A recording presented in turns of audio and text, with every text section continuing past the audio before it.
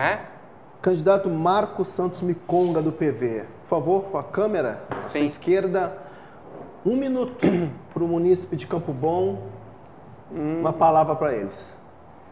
Ah, bom, a- povo de Campo Bom, a gente já é conhecido na cidade por essa prática, né?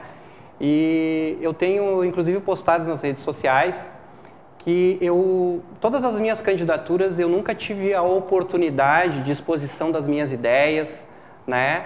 Eh, e também as nossas candidaturas sempre elas foram eh, são candidaturas com menos espaço e menos recursos. Então nós só temos uma chance de, de chegarmos à prefeitura com o envolvimento, esse movimento ah, da própria sociedade, esse movimento de querer mudança, de não aceitar né, muitas coisas que vocês sabem que estão erradas na nossa cidade, né?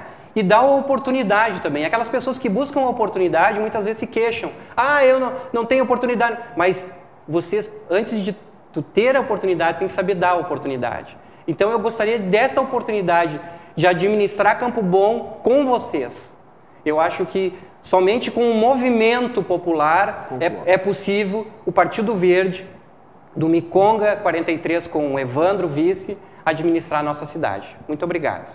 Obrigado, candidato do Partido Verde, Marco Santos Miconga, participou do programa Conexão Política Eleições 2016 de hoje. Muito obrigado pela Eu. presença. Lembrando, próximo dia 5 de setembro, nove e meia da noite, ao vivo, debate com os candidatos da cidade de Campo Bom, aqui no canal 14 da NET. Acompanhe a eleição 2016 aqui na Vale TV, com a entrevista candidatos de Campo Bom, Sapiranga, Estância Velha e Novo Hamburgo, todos os candidatos a respectivas prefeituras.